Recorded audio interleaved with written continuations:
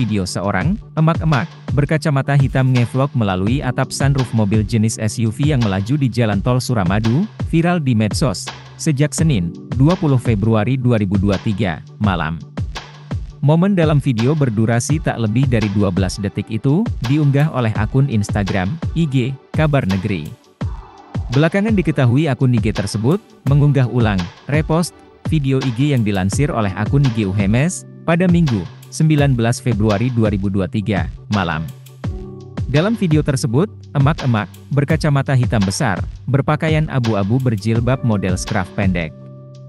Ia tampak melakukan perekaman video secara vlog di atas sunroof mobil jenis SUV warna hitam yang ditumpanginya.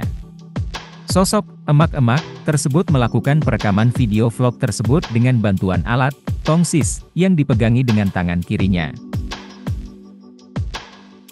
Jika dilihat hingga akhir video tersebut, si emak-emak tersebut tampak begitu percaya diri berdiri setengah badan di atas sunroof mobil hitam itu dengan pose centil. Jemari telunjuk dan jempol si emak-emak membentuk pola huruf liter dan didekatkan pada pipi kanannya, seperti memang sedang bersiap untuk mengabadikan momen selfie dalam video vlog tersebut. Saat itu mobil yang ditumpanginya melaju di jembatan yang diduga di Suramadu. Bahkan, akun itu juga menaupkan tag akun lain yang menjadi sumber unggahan video tersebut.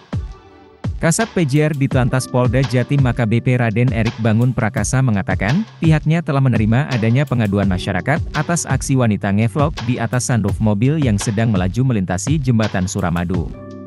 Pihaknya sedang menyelidiki video tersebut, untuk mengetahui kapan waktu kapan video tersebut dibuat. Hingga mencari sosok si perempuan untuk melakukan klarifikasi atas aksi yang berpotensi membahayakan diri sendiri dan pengendara lain di jalanan tersebut.